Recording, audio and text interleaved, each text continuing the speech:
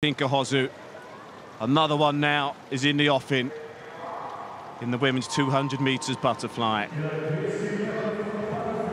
So even if she doesn't get the best start, Hosszu, which she has done today, she makes up for it going into the back 100 so, so many times. So what's the game plan here for Zsuzsanna Jakabos? Two and a half seconds ahead of the Iron Lady from the heats today. But She's out for revenge here, without a doubt. It that would have hurt. Down can she spring a surprise? Lane five, Hosszu coming back into it, but she holds on for it in the end. Katinka Hosszu, FINA World Cup victory, 300 for the Iron Lady.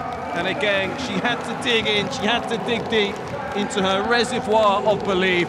But Katinka Hosszu, once again, has made history. Well, well, well. Just